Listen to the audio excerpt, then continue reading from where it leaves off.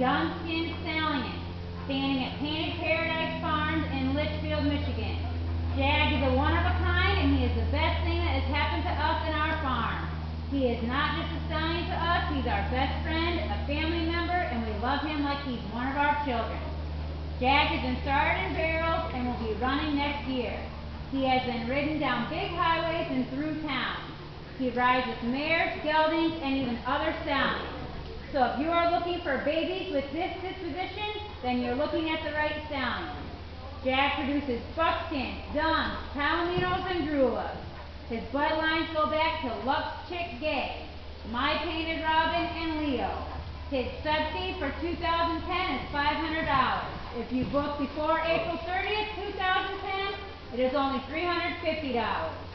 If you want babies with the fancy colors and good dispositions with level heads, Windfall Gold is the right choice.